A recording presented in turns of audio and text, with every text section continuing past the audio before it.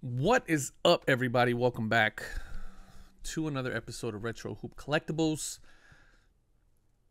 I'd like to tell you that this is the last video I'm going to do about this Panini patch debacle. I really thought that it was just concentrated in basketball, right? Because, you know, COVID and, you know, not being able to get patches and all this other stuff. And maybe there's some, some leeway there. And they specify it on the back of the card. I mean, even though I don't like it, they specify it. They say it's not associated with a specific player, game, or event. It says it right on there. Even though I don't like it, it says it. It says it. It's not associated with a player, game, or event. Okay, fine. At that point, Panini has told me that this patch is basically something that they grabbed out of a Dick's Sporting Goods and slapped it into a card. Okay, fine. I make the decision at that point whether or not I want to buy it or not. The problem that I have with this uh, recent uh, revelation that has been put in front of me that I I wasn't gonna do it, but I'm like, man, this is just I can't ignore this, right? I have to I have to say something. Um. So quick. Uh, first, shout out to my uh, let's see who's uh, I can't remember who put this in front of me. I get so many emails. Shout out to my man Tommy on Instagram. Tmar528. If you guys want to go follow him. Um, sends me a picture of a pretty badass card. If I were to have put, if I were to have pulled this, I would have been jumping for joy. You guys know I don't play this. I don't play in this arena. Big, you know, big dollar stuff. Anyway, uh, overtime rips, overtime underscore rips on Instagram. If you guys want to go follow him, uh, pulls a one of one Trevor Lawrence patch auto rookie card, which I mean, let's face it, anybody and their mother would have went absolutely bananas to pull a card like that. So here it is. Beautiful, beautiful card. Black, one of one, Trevor Lawrence. You can almost say team color match. Just an awesome card to pull. Nice autograph, sticker. Hey, Panini, let's not do sticker autographs on one of ones. Um, but nonetheless, beautiful card. It's the uh, laundry tag, right? Or the size laundry tag. Just a great card. You know, great card to pull. Um, but you know, on the back of it, it's as as is with any card, right? Uh, we do have, you know, the one of one, and it does say the enclosed authentic memorabilia is not from any specific game or event and the autograph is guaranteed by Panini America. So, kind of crappy, right? I mean, it's not game worn, it's not game used, it's not from any specific game, but hey, it does belong to T Law, right? Sunshine, as I like to call him, Sunshine. Um, the assumption here, and I know we shouldn't assume, but I mean, come on, you specified it on the basketball cards. If this wasn't even associated with the player, then tell me that. Right? You already pissed off all the basketball fans. Just let us know. But it doesn't say that. It says that it's not a game or event specifically. Okay, cool. But it does belong to Trevor Lawrence. All right, I can live with that. That's kind of how the patches have been recently anyway. The problem is is when you start digging into it a little bit, here right here is a game used Trevor Lawrence jersey that just sold at auction for almost 20 grand. Which, by the way, side note here, um, I was reading some of the comments. They said this card's going to sell for twenty to twenty five thousand dollars.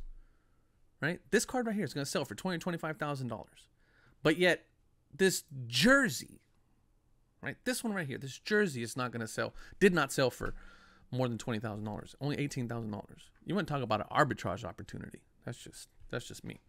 At any rate, here is a game used.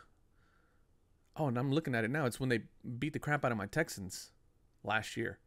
Game used against the Texans, number one draft picks, got his autograph on the on the number six. But if we look a little closer and you look at the size of this, Trevor Lawrence is not a 52, he's a 40 in a game jersey. He's a 40.